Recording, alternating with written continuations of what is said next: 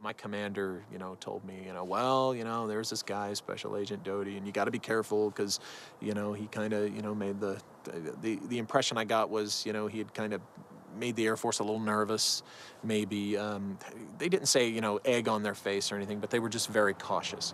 The main reason that we in the UFO field recognize the name Richard Doty is that a man named Paul Bennewitz, a self made man, a very successful businessman, was systematically driven insane, wound up in an insane asylum, under treatment for a long time, lost his business, had to turn it over to his family, and was destroyed by the efforts of Richard Doty.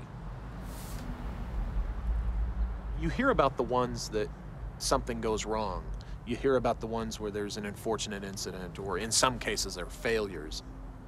It was unfortunate what happened to Mr. Bennewitz, but they were supposed to protect something and they did their job.